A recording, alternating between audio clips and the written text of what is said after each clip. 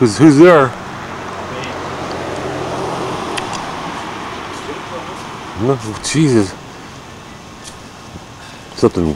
Look it up there. What, what's that? Just look the hell up there. Where do you see something moving in the sky down here, right here?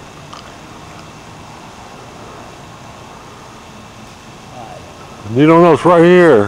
Right above our house almost. Two of them moving. It's a white one and a yellow one. No, just anybody could see it. Jesus, if Channel 3 could see it.